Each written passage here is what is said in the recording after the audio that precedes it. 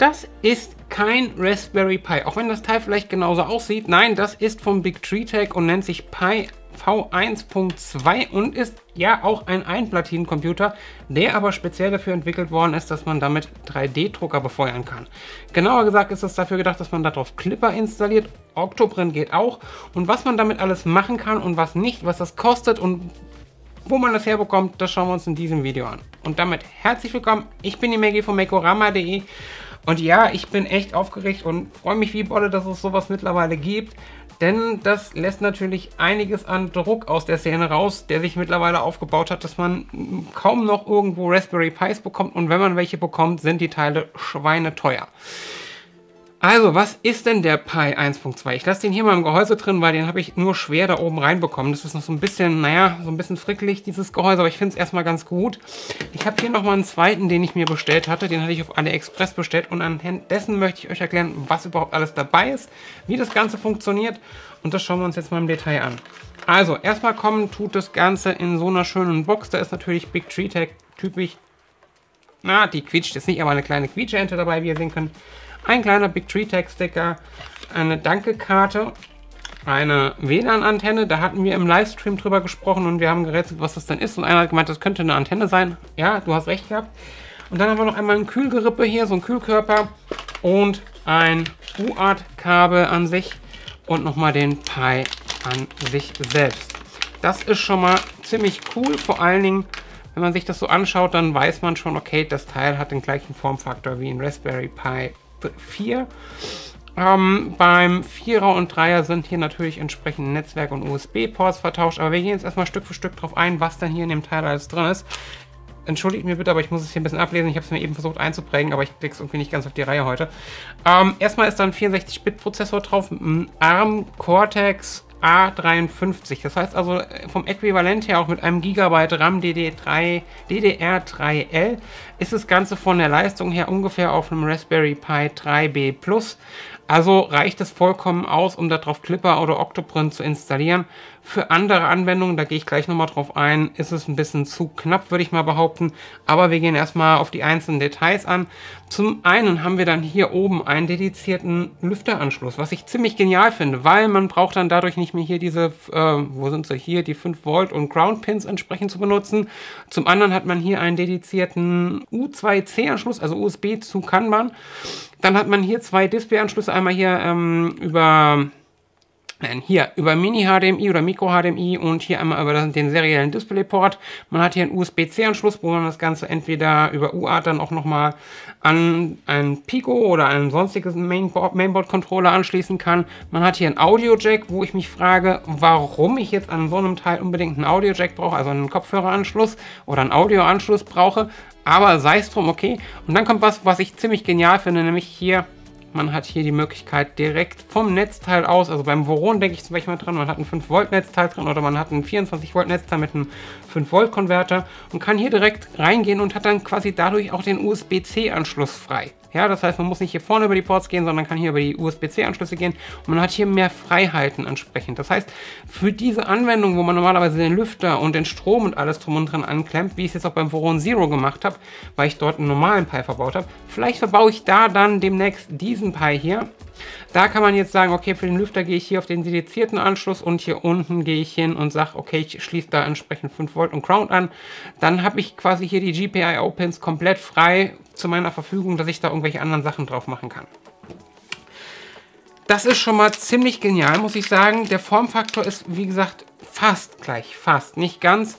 Ähm, zum einen der Netzwerkstecker ist gedreht, das heißt also beim Raspberry Pi 4 ist quasi diese kleine Nut hier unten ist dann nach unten. Ähm, und wir haben einen leicht versetzten ähm, SD-Kartenslot, das heißt also beim Raspberry Pi ist der genau in der Mitte. Das bedeutet auch, dass die Cases, die man normalerweise für den Raspberry Pi nutzt, so nicht funktionieren aus dem Haus raus. Das heißt, es müsste einer sein, wo der Netz, wo der SD-Kartenslot dann relativ breit ausgeschnitten ist, damit beide quasi reinpassen. Hier zum Beispiel habe ich hier hinten einen Anschluss oder eine Öffnung drin, die speziell für diesen Big Tree Tech Pi V1.2 gemacht ist. Das ist also echt super. Hier hinten habe ich auch nochmal den Stromausgang, hier habe ich nochmal den Infrarotausgang. Stimmt, das habe ich eben vergessen. Der hat nochmal einen Infrarotempfänger, was ich auch ziemlich cool finde. Und ansonsten ist das schon mal ziemlich cool. Das Gehäuse packe ich euch unten einen Link in die Videobeschreibung. Druckt sich echt wunderbar. Ich habe es auch hier mal wieder, wenn man letztes Video gesehen hat, im Elego PLA gedruckt. Ja, ich weiß, normalerweise sollte man das nicht tun, aber ich habe mir gedacht, okay, für den äh, Neptune 3 Max, wo ich das einfach nur neben dran stelle oder ja, da reicht es vollkommen aus. Vielleicht drucke ich es nochmal im ABS nach, aber es, es, hat sich wirklich, wirklich gut drucken lassen. Auch auf dem Mini, wo ich dann noch so ein bisschen Ghosting habe, aber es sieht wirklich wunderbar aus. Genau. Ähm, die Wi-Fi-Antenne, wo wir schon mal gerade ein paar hier haben, lässt sich irgendwo hier unten auf der Unterseite, da ist ein kleiner Anschluss. Ich blende euch gleich noch mal ein bisschen B-Roll ein. Da könnt ihr einfach klack das Ganze draufklemmen und dann habt ihr quasi die Antenne, die ihr hier irgendwo ankleben könnt mit dem 3M-Klebeband hier.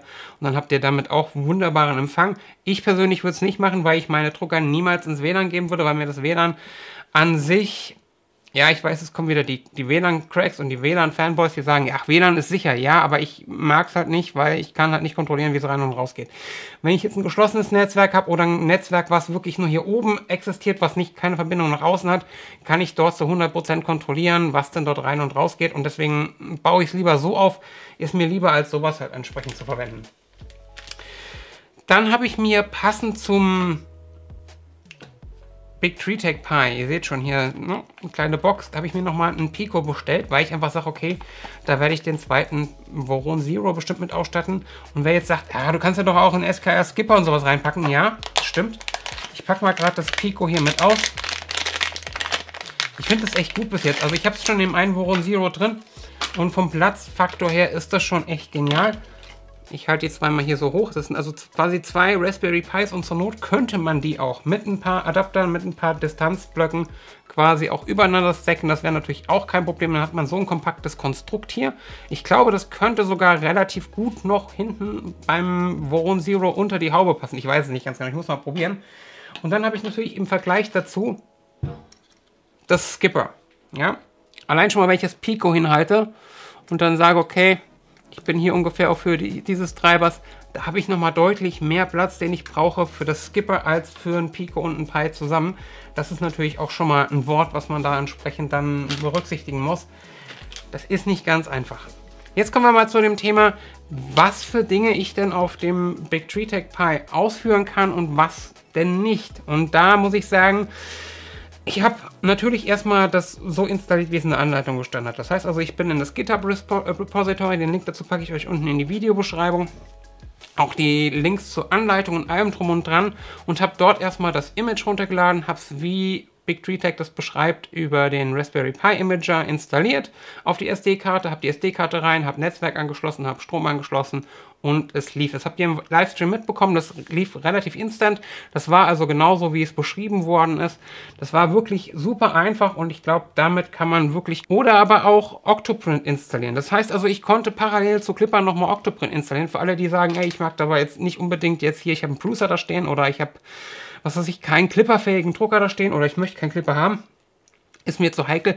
Ihr könnt darauf auch über den ähm, Clipper Instant und Update Helper natürlich über Umwege dann entsprechend euch einen eine Octoprint-Instanz natürlich installieren. Und das finde ich ziemlich genial, weil ihr dann sagen könnt, okay, ich kann auf Clipper verzichten und kann auf meinem altgewohnten Octoprint-Setup bleiben, was ich auch gut finde, was ich auch gut heiße. Ich weiß, es gibt einige Fanboys da draußen, die sagen immer, ach, geh mir weg mit Octoprint und das mag ich alles nicht und sowas in Richtung. Aber ich denke mir, beides hat wohl seine Berechtigung in dieser Welt zu existieren.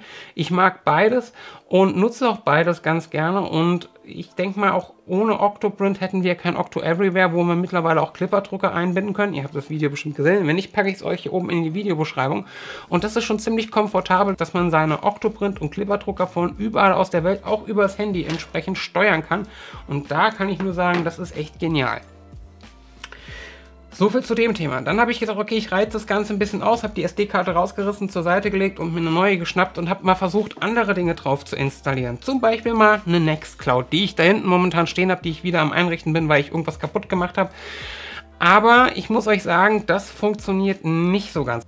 Ich habe mir dann mal beide SD-Karten angeguckt, sowohl die über das Big Tree Tech Image installierte SD-Karte, als auch die, die vom Raspberry Pi Imager für Nextcloud oder für alle anderen Images entsprechend hergestellt wird. Und da sieht man schon, ich blende es euch mal ein, schon einen, einen recht großen Unterschied von der Dateistruktur her, von dem, was auf der SD-Karte wirklich drauf ist. Das heißt also, Big Tech hat da jetzt nicht unbedingt einen 1 zu 1 Klon von einem Raspberry Pi nachgebaut, sondern die haben was nachgebaut, wo sie sagen, okay, wir brauchen auch ein Custom Image dafür, dass das Ganze läuft. Wie genau das ist, weiß ich nicht ganz genau. Ich habe mich jetzt noch nicht so tief in der Materie damit beschäftigt, dass ich sagen kann, okay, das hat damit zu tun. Von der Hardware her, von dem ARM Cortex A53 Prozessor mit dem 1 GB RAM, müsste es eigentlich rein theoretisch funktionieren. Auch wenn das vielleicht für Nextcloud nicht unbedingt so eine optimale Umgebung ist oder für, was weiß ich, eine, eine Umbrella Wallet oder sowas in der Richtung, ja. Aber es müsste rein theoretisch funktionieren von der Hardware. Warum das jetzt nicht ganz funktioniert, weiß ich nicht genau. Damit habe ich mich jetzt noch nicht auseinandergesetzt. Werde ich aber gerne noch mal in der nächsten Zeit tun und euch dann noch mal irgendwann mal Feedback dazu geben. Genau, also Custom Images, die über den Raspberry Pi Imager zur Verfügung gestellt werden, gibt es momentan noch nicht. Das heißt also, man kann die noch nicht installieren. Falls ihr Informationen dazu habt, packt sie gerne unten in die Videobeschreibung. Was aber geht, ist natürlich dann zu sagen, okay, ich schmeiße über den Clipper Instant und Update Tapper, falls ich Big Tree Tech nicht traue, einfach mal das Clipper runter und spiele es nochmal komplett neu ein, damit ich eine komplett cleane Installation habe. Und genauso könnt ihr das natürlich auch mit Mainsail, Fluid und Octoprint machen, dass ihr das installiert und natürlich auch die ganzen Plugins. Und ich muss sagen, wenn das Ganze läuft und ihr eine Konfiguration dafür habt, ist es im Prinzip wie mit jedem anderen Pi auch. Es funktioniert wunderbar und dieser Pi hier kommt bei mir an den Neptune 3 Max alias Odysseus. Den habe ich nämlich schon entsprechend eingerichtet und die Printer-Config draufgepackt und alles andere soweit vorbereitet. Das Einzige, was wir noch machen müssen, ist das Teil anzuschließen, die Browser auf den Drucker zu packen und dann nochmal zu leveln und zu konfigurieren.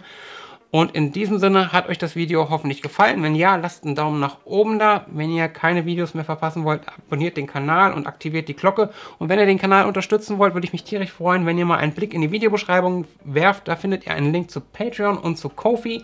Dort könnt ihr den Kanal unterstützen. Und an der Stelle möchte ich mich auch nochmal herzlich bedanken bei meinen Patreonen. Und in diesem Sinne, Hodl the Line, Happy Printing und ciao.